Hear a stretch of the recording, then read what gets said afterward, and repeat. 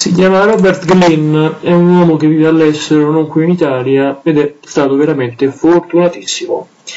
Infatti gli era stato proprio prospettato un anno solo di vita e l'unica terapia da seguire una terapia sperimentale, perché l'uomo vi ricordo che è malato di un cancro, di un tumore.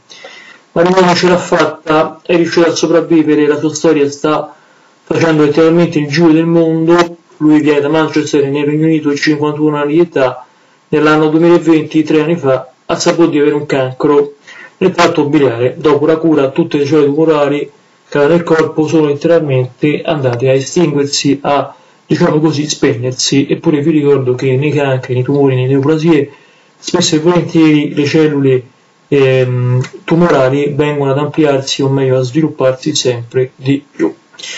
La vicenda è incredibile, l'uomo ha seguito una cura sperimentale, la terapia a base con farmaci immunoterapici che va ad agire aiutando, sostenendo il sistema immunitario a riconoscere e attaccare quelle che sono le cellule del tumore, un trattamento che viene eseguito attraverso la fleboclisi e aiuta poi il sistema immunitario a riconoscere tutte quelle cellule brutte, negative, ossiche da uccidere e attraverso una combinazione vincente anche con l'utilizzo della chemioterapia di tipo standard sembra proprio che l'uomo abbia sconfitto il cancro. Il farmaco può essere nominato, diciamo così, in maniera privacy, cioè non c'è un nome perché è una cura del tutto sperimentale. Vi ringrazio per l'ascolto, il video termina qua.